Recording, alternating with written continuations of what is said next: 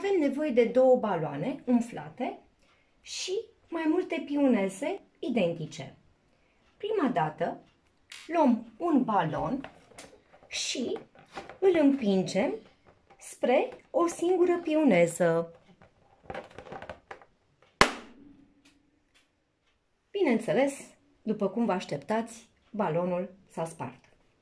Apoi, am făcut aici un pat de pioneze și venim acum cu balonul și la fel îl împingem pe acest pat de pioneze.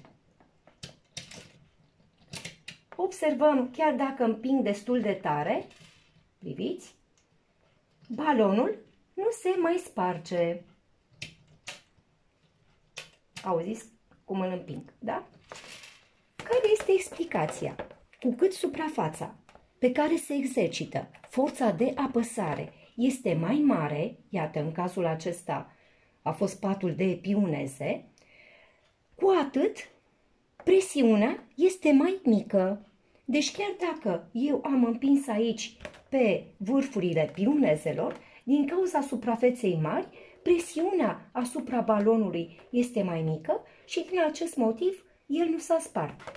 Când am avut o singură piuneză, suprafața pe care s-a exercitat forța de apăsare este foarte, foarte mică, de ordinul milimetrilor pătrați, și atunci presiunea este foarte mare și balonul, după cum ați observat, s-a spart.